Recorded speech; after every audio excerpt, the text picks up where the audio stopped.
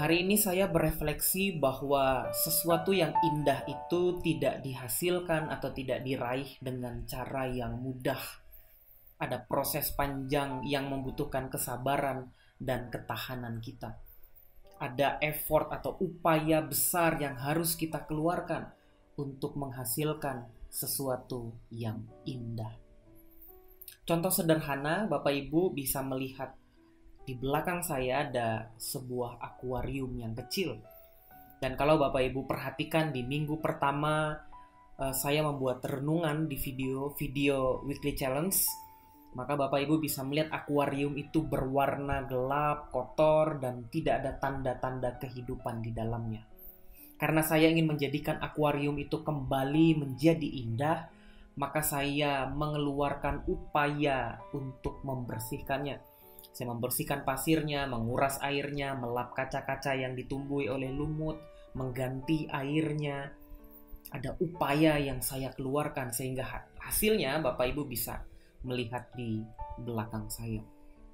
Ini adalah salah satu yang sederhana. Membersihkan akuarium adalah proses mencapai keindahan dengan cara yang sederhana, tetapi membutuhkan niat dan upaya untuk mewujudkan yang indah itu. Supaya akuarium di belakang bisa terlihat indah. Untuk mewujudkan hal-hal indah di dalam kehidupan kita, kita perlu mengupayakannya. Tidak hanya cukup berharap saja bahwa segala sesuatu akan indah, tetapi kita perlu mengusahakannya. Kita perlu mengeluarkan effort, kita perlu memiliki niat, komitmen, dan usaha yang konsisten yang kita investasikan agar kehidupan ini menjadi lebih indah, terutama kehidupan bersama-sama. Yesus pernah mengajarkan hal ini dalam sebuah perumpamaan yang sangat jelas di dalam Matius pasal yang ke-13 ayat 45 dan 46. Demikian pula hal kerajaan sorga itu seumpama seorang pedagang yang mencari mutiara yang indah.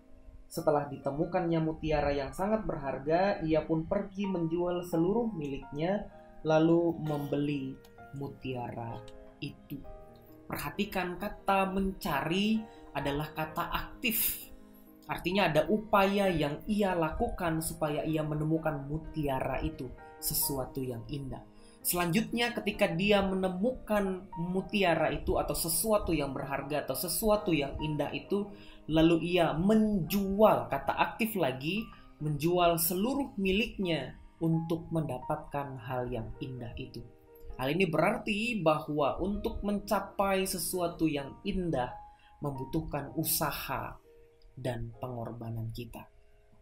Nah, di dalam kehidupan yang kita jalani di hari ini, tentu saja kita mendambakan kehidupan yang indah, hal-hal yang indah di dalam relasi kita, relasi keluarga kita, tetangga kita, dengan sekeliling kita. Kita mendambakan lingkungan yang indah, lingkungan yang bersih dan sehat.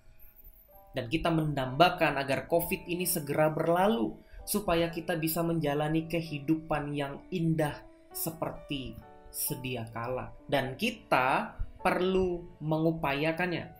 Kita perlu menginvestasikan waktu dan tenaga kita untuk mengusahakan hal-hal yang indah itu terjadi di dalam kehidupan kita bersama-sama.